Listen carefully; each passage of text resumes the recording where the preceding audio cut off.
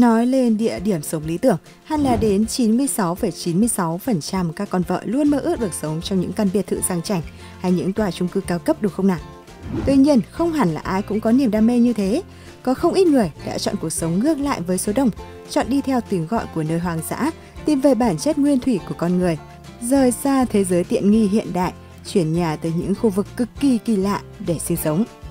Những người tôi sắp kể cho các ông nghe sau đây chính là một ví dụ điển hình. Từ người phụ nữ sống 20 năm trong nước như người cá, cho tới người đàn ông hóa khỉ leo lên cây trong suốt 30 năm. Hai người thích sống ở khu vực phóng xạ nguy hiểm nhất hành tinh. Nguyên nhân mà họ có một cuộc sống bất bình thường như thế sẽ là thứ chúng ta cùng đi tìm hiểu ngày hôm nay. Cùng phẳng đi vén màn bí mật những cuộc sống của con người khó hiểu nhất hành tinh nào. Let's go! Thứ nhất, người phụ nữ sống dưới nước. Theo các ông, nàng tiên cá Ariel trong truyền thuyết có thật ở ngoài đời hay không? Khi thế giới đã ghi nhận quá nhiều những giả thuyết hư cấu về người cá trên hành tinh này rồi, từ những chiếc camera vô tình quay lại được khoảnh khắc cho tới những phi vụ được dàn dựng cẩn thận chỉ để chứng minh sinh vật thần kỳ sống dưới nước có hình người đuôi cá này thật sự tồn tại. Người phụ nữ sau đây cũng được mệnh danh là người cá. Khi đã hơn 20 năm rồi, cô gái này chưa bước chân ra khỏi nước và cũng không thể sống thiếu nước. Điều này khiến cho nhiều người đặt cho cô nàng biệt danh là người cá phiên bản đời thật. Nhưng khác biệt là cô nàng này hoàn toàn mang dáng vẻ con người chứ không hề có đuôi hay mọc ra vảy cá như trong chuyện cổ tích.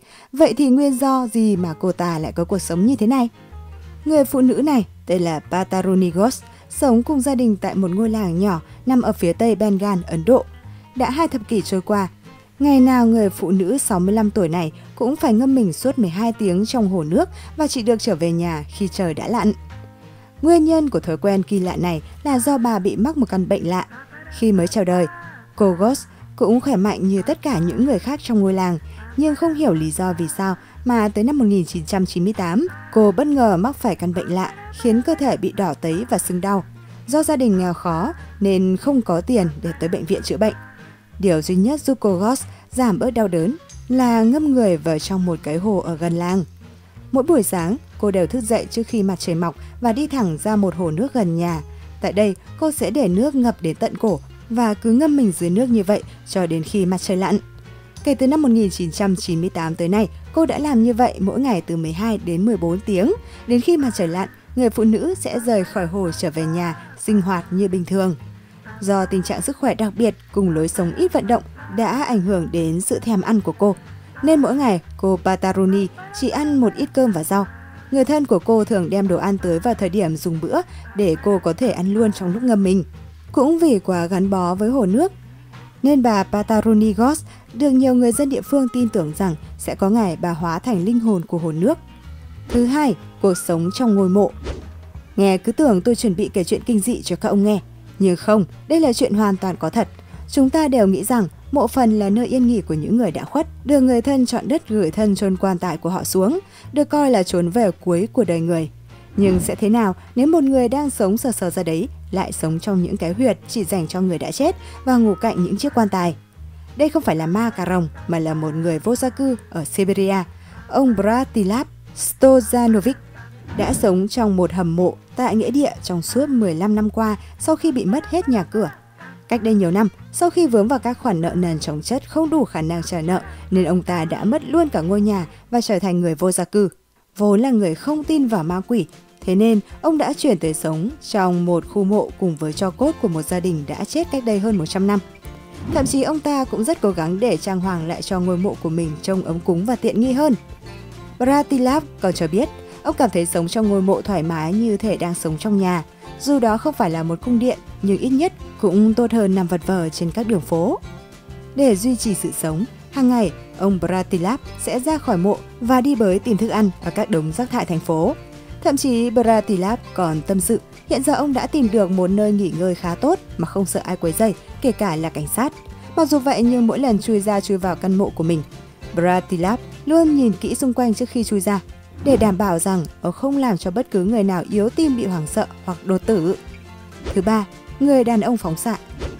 Ông Naoto Matsumura là người giàu nhất, thông minh và là đệ nhất nam thần ở thị trấn Tomioka, Fukushima, Nhật Bản.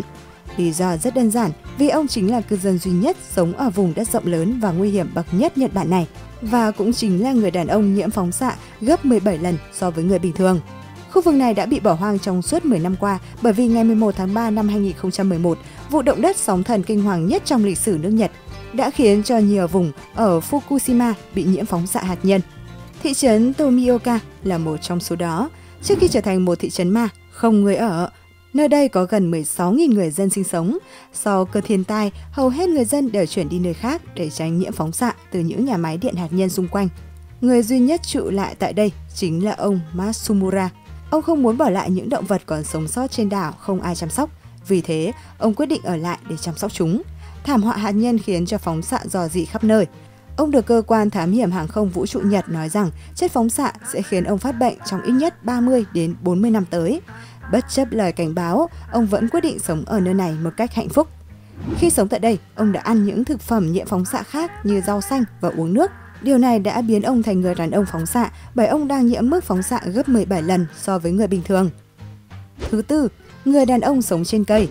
Nếu cậu không đủ tiền để tạo một căn biệt thự hay chung cư cao tầng để thưởng thức cảm giác đứng trên cao ngắm nhìn thiên hạ, thì hãy thử phương án của anh chàng sau đây, biết đâu các ông lại thấy thích thì sao nhỉ? Nhưng lý do để anh chàng này sống như khỉ trên cây lại không hề thơ mộng như thế. Anh ta chỉ đang trốn kẻ thù mà thôi. Và trong cây dừa có vẻ an toàn nên anh ta đã chọn nó làm nơi cư trú trong suốt 3 năm không thèm xuống đất. Người đàn ông này được biết đến với cái tên Gilbert Sanchez, sống ở Philippines.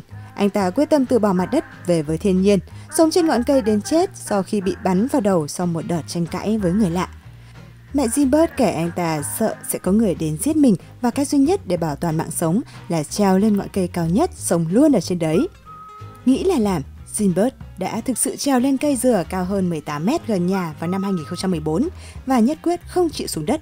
Hàng ngày, mẹ Zinbert mang nước và thức ăn đến để anh ta dùng một sợi dây thừng tự chế kéo thức ăn lên nơi trú ẩn.